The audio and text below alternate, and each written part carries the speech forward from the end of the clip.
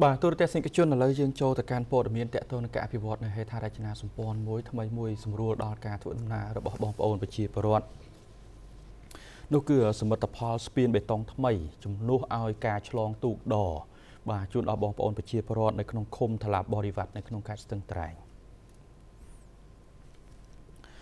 ភូមិអូត្រែលបាទភូមិនេះគឺភូមិអូត្រែលដែលស្ថិតនៅតាមបណ្ដោយផ្លូវតភ្ជាប់គ្នាពីឃុំអូរ៉ៃទៅឃុំ ថ្លាបរិវត្តដែលកន្លងមកធ្លាប់តែប្រើប្រាស់ទូកដចម្លងពេលនេះត្រូវបានអាជ្ញាធរខេត្តស្ថាបនាស្ពានបេតុងថ្មីជំនួសមកវិញដើម្បីផ្ដល់នូវភាពងាយស្រួលក្នុងការចរាចររបស់ប្រជាពលរដ្ឋលោកសុនសារឿនអភិបាលស្រុកថ្លាបរិវត្តបានឲ្យទូរទស្សន៍ព័ត៌មាន BTV ដឹងថានៅក្នុងមូលដ្ឋាននៃភូមិអូត្រែលស្ថិតនៅក្នុងឃុំថាឡាកន្លងមកបាទភូមិអូត្រែលដែលស្ថិតនៅក្នុងឃុំ បាទឃុំថ្លាបបរិវត្តកន្លងមកបងប្អូនប្រជាពលរដ្ឋមានការលំបាកវេទនានៅក្នុងការធ្វើចរាចរទៅមកពីភូមិមួយទៅកាន់ភូមិមួយដោយឆ្លងកាត់ការឆ្លងទូកប្រឈមនឹងគ្រោះថ្នាក់ខ្លាំងលោកបន្តថានៅពេលនេះដែលមានការយកចិត្តទុកដាក់ពីសំណាក់អាជ្ញាធរខេត្តអាជ្ញាធរស្រុកក៏បានកសាងនៅស្ពានបេតុងមួយខ្សែមានប្រវែង115ម៉ែត្រទទឹង8ម៉ែត្រដែលជាកញ្ចប់ថវិកាដោយក្រសួងអភិវឌ្ឍជនបទនិងធនាគារពិភពលោក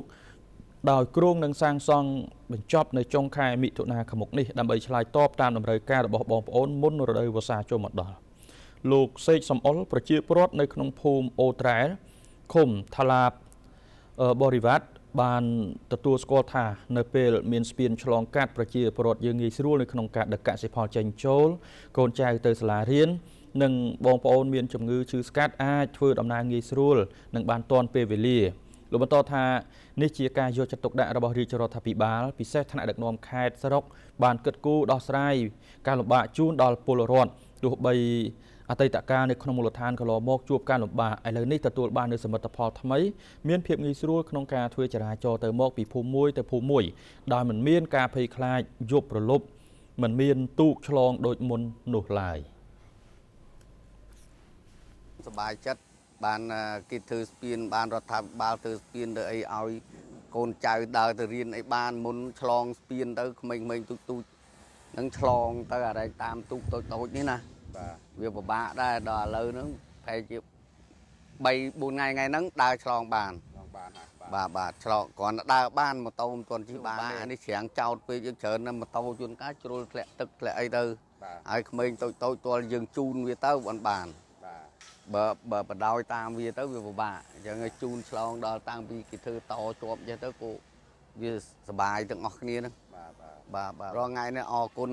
ដល់ថ្នាក់ដឹកនាំភូមិឃុំនិងអបាលស្រុកលោកសនសរឿនអីគាត់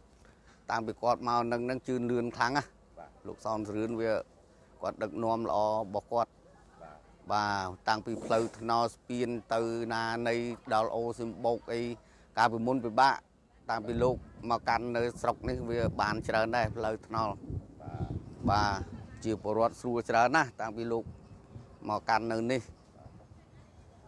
ទីបញ្ចប់នេះចង់ឲ្យប្រជាពលរដ្ឋទាំងអស់ដែលនៅក្នុងភូមិថ្លាបរវត្តស្រុកថ្លាបរវត្តនិងទាំងអស់ទាំងខេត្តអីហ្នឹងឲ្យអរគុណដល់អ្នកដឹកនាំរាជរដ្ឋាភិបាលអបាលខេត្តចវាយស្រុកអីហ្នឹងអរគុណទាំងអស់ក្នុងថ្នាក់ដឹកនាំគណៈបកប្រជាជនទាំងអស់ហ្នឹងអានេះ គេអត់ចេះទៅថាទេគេធ្វើមែនហើយរងថ្ងៃធ្វើមែនតែនមានមានស្ពានមានអីហ្នឹងជាក់ស្ដែងជាក់ស្ដែងអានេះឃើញទស្សនវិជ្ជាជាក់ស្ដែងអញ្ចឹងហើយអញ្ចឹងចំឲ្យប្រជាពលរដ្ឋទាំងអស់ហ្នឹងមានជំនឿទៅលើគណៈបកប្រជាជន ដែលលោកដឹកនាំកសាងអភិវឌ្ឍគ្រប់កន្លែងជាពលរដ្ឋមានផ្លូវដើរអីអីឥឡូវនេះមន្ទីរពេទ្យស្អីស្អីនេះគេធ្វើច្រើនដែរនៅក្នុងស្រុកតាឡានេះបាទអញ្ចឹងចង់ឲ្យជាពលរដ្ឋមានជំនឿលើ គណៈបកប្រជាជនយើងទាំងអស់គ្នានឹងបាទទូរទស្សនិកជននេះគឺជាការលើកឡើងរបស់លោកសេកសំអល់ប្រជាពលរដ្ឋនៅក្នុងភូមិអូត្រែលឃុំតាឡាបរិវត្តនៅក្នុងខេត្តស្ទឹងត្រែងបាទនៅក្នុងស្រុកតាឡាបរិវត្តខេត្តស្ទឹងត្រែងតែលោកបានទទួលស្គាល់ថានៅពេលមានស្ពានឆ្លងកាត់គឺប្រជាពលរដ្ឋរបស់យើងគឺងាយស្រួលណាស់ អឺមួយទៀតលោកកោបកៃដែលជាប្រជាពលរដ្ឋនៅក្នុងភូមិខាងលើដែរក៏បានអរគុណដូចគ្នាបានអរគុណដល់រាជរដ្ឋាភិបាលអរគុណថ្នាក់ដឹកនាំខេត្តនិងថ្នាក់ដឹកនាំស្រុកដែលបានផ្ដល់នូវសមិទ្ធផលស្ពានបេតុងជូនដល់ពលរដ្ឋផុតពីការលំបាកនាពេលកន្លងមកហើយលោកក៏បានអំពាវនាវដល់បងប្អូននៅក្នុងស្រុកថ្លាបរិវត្តទាំងអស់ត្រូវអរគុណដល់គណៈបកប្រជាជនកម្ពុជាដែលសមិទ្ធផលដ៏មហាសាលនេះបានកើតឡើងដើម្បីសម្រួលដល់ការរស់នៅរបស់ប្រជាពលរដ្ឋ បាទកន្លែងនេះដែល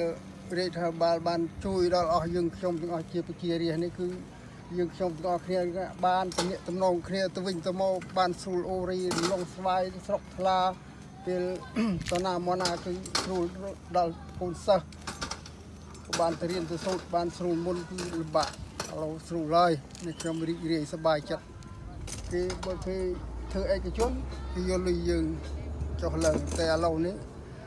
យើងអត់ពិបាកទេយើងស្រួលហើយសប្បាយចិត្តក្នុង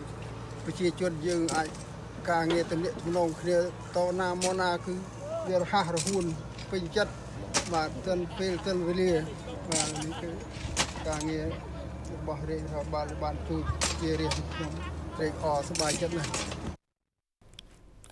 បាទនេះគឺជាការលើកឡើងពីប្រជាពលរដ្ឋមួយរូបទៀតគឺលោកកូបកៃបាទ សូមបញ្ជាក់ថាស្ពានបេតុងថ្មីនេះមានប្រវែង90ម៉ែត្រទទឹង8ម៉ែត្រតភ្ជាប់គ្នាផ្លូវគ្រួសក្រហមទៅឃុំចំនួន3មានឃុំអូរ៉ី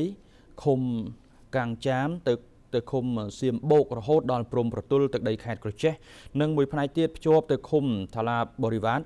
មកទីរួមស្រុកតាមផ្លូវបេតុងនៅក្នុងចម្ងាយផ្លូវប្រវែងជាង5គីឡូម៉ែត្រទើបសាងសង់ថ្មី ដែលបានផ្ដល់ផលប្រយោជន៍សំខាន់ដល់ប្រជាពលរដ្ឋដឹកកសិផលកសិកម្មនិងទំនិញផ្សេងផ្សេងយកទៅដោះដូរនៅទីផ្សារនៅទីរួមខេត្តស្ទឹងត្រែងជាលក្ខណៈសេដ្ឋកិច្ចគ្រួសារផងដែរ